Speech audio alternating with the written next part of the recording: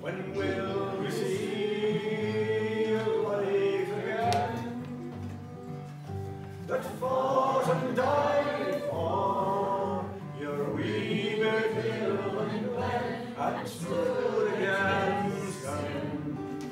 Proud Edward's army and sent them homeward to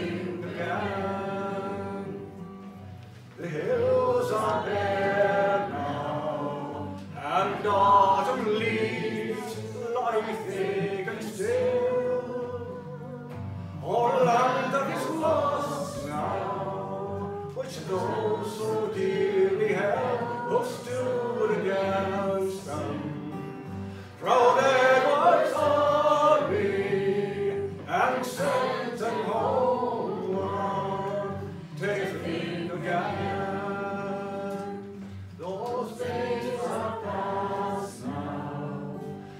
in the past they must remain.